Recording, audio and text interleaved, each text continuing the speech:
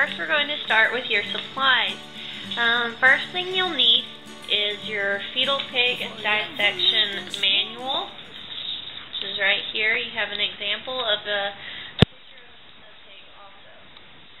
Um, next thing, you will need supplies inside of your dissection tray.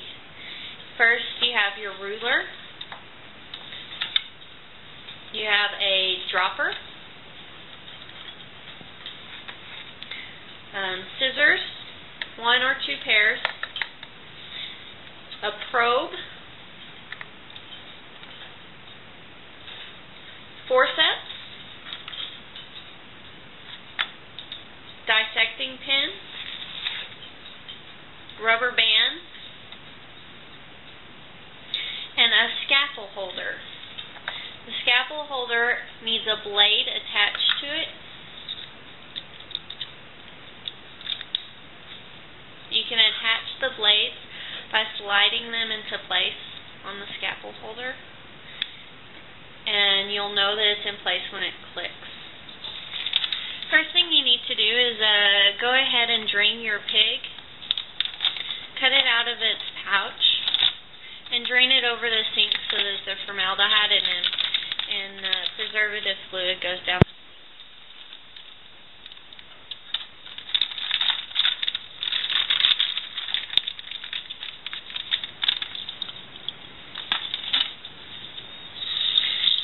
pig off with water so that the smell in the room doesn't get too terrible.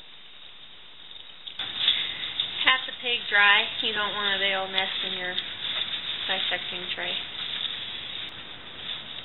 First thing you need to know about the pig is the different areas of the pig.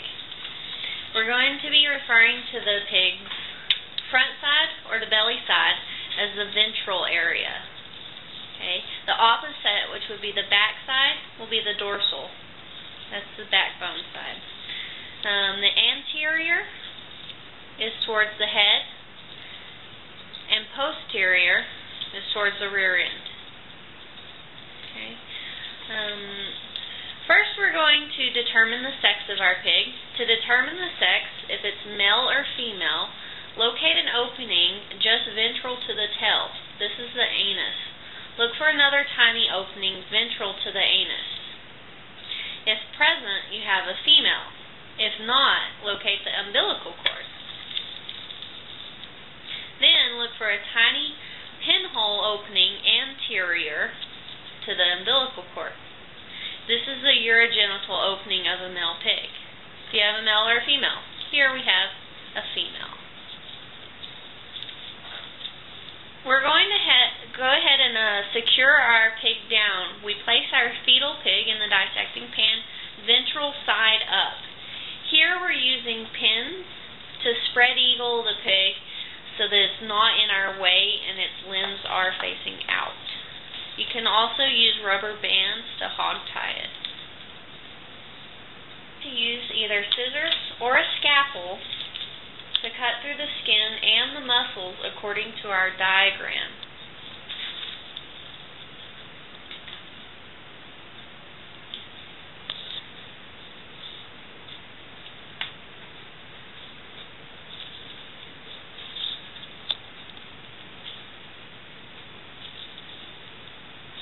Do not remove the umbilical cord. In the first section, we'll only examine the abdominal cavity.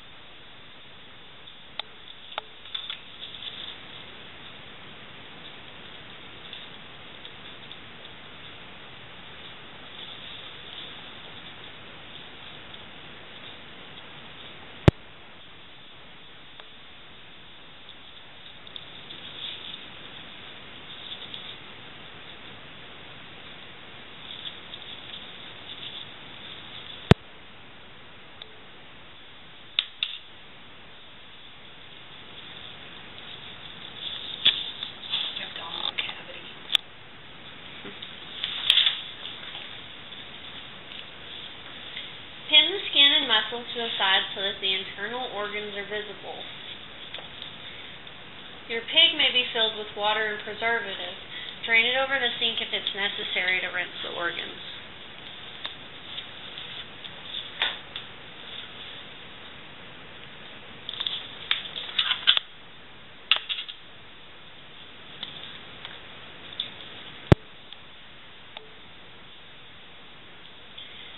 Next, we're going to look at the digestive the digestive system.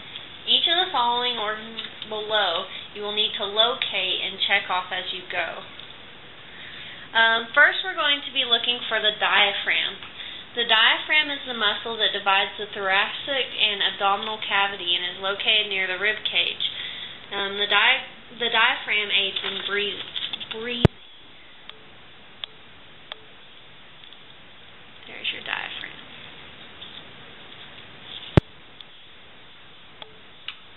Next, the liver. The liver is the structure that is lobed and is the largest organ of the body. The liver is responsible for making bile for digestion. The gallbladder. The gallbladder is the greenest organ that's located underneath the liver. I think right there is your gallbladder. Okay, the gallbladder stores bile and it sends it to the duodenum via the bile duct. Um, next, the stomach.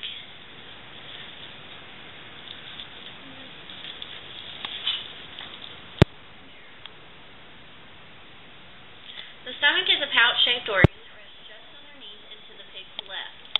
At the top of the stomach lies the, the esophagus. The stomach is responsible for um, churning and breaking down food. The stomach then leads to the small intestine, which is composed of the duodenum, which is the straight portion just after the stomach, and the ileum, which is the curly part.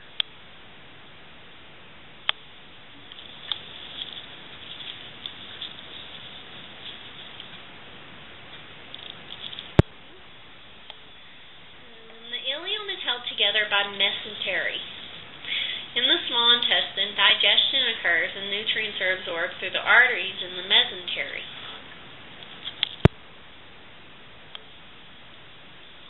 Held together stuff. The pancreas. The pancreas is a bumpy organ located along the underside of the stomach. A pancreatic duct leads to the duodenum.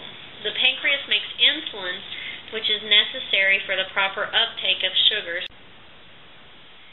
Next, the spleen. The spleen is a flattened across the stomach and toward the extreme left side of the pig.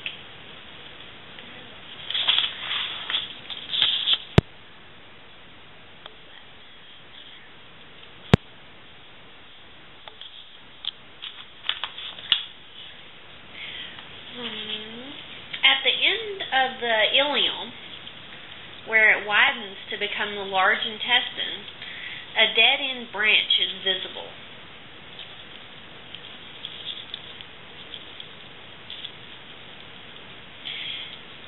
This is the cecum. Cecum. The cecum helps the pig digest plant materials. It's like the appendix of us.